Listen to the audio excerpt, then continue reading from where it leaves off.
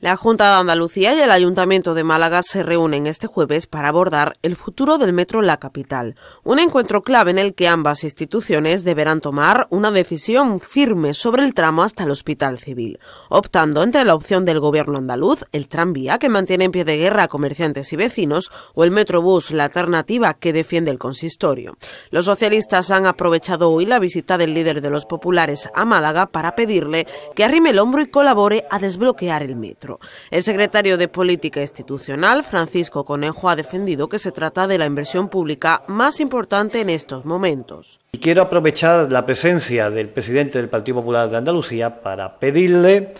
que arrime el hombro y colabore para desbloquear la inversión más importante que hay en estos momentos en la ciudad de Málaga. Quiero pedirle al señor Moreno Bonilla que colabore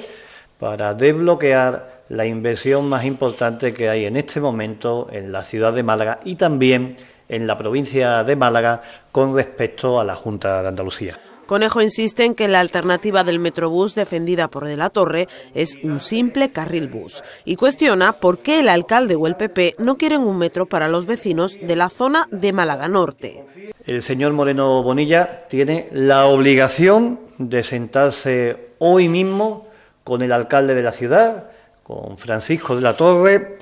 para que no frene, para que no frene un proyecto que contempla más de 83 millones de euros en los presupuestos de la Junta de Andalucía